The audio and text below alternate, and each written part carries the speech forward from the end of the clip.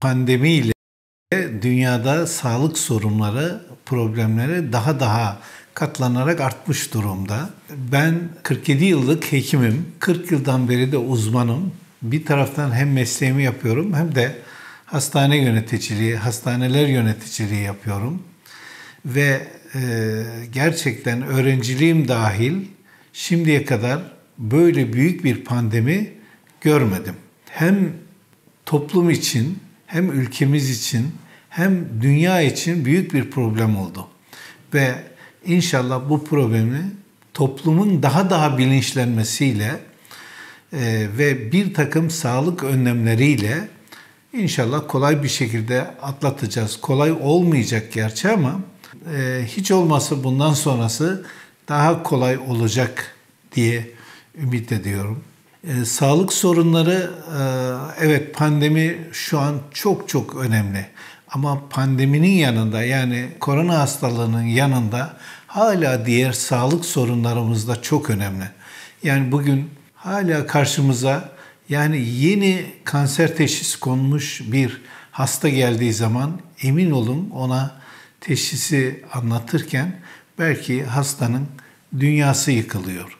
Veya nasıl bir felaket yaşayacak bu pandemi döneminde o da bunu kara kara düşünüyor.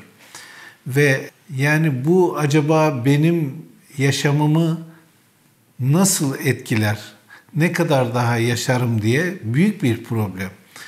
Bunun yanında tabii doğumlar devam ediyor. Kadın hastalıklarıyla ilgili sorunlar devam ediyor. Trafik kazaları veya ortopedik ev kazaları, birçok kazalar devam ediyor. Damarlarla ilgili sorunlar devam ediyor. Damar tıkanıklıkları, kalp hastalıkları devam ediyor. Çocuklarda hastalıklar e, eskiden de zaten bitmiyordu ama genellikle küçük yaşlarda enfeksiyon hastalıkları, ateşli hastalıklar çok oluyor. Bunların hepsi bu arada pandemi döneminde de olsa titizlikle bakılması ve e, bunların da çarelerinin bulunması gerekiyor. Neticede çünkü bazen e, zamanında müdahale edilmeyen hastalıklar daha sonra çok daha büyük problemler olarak karşımıza çıkabiliyor.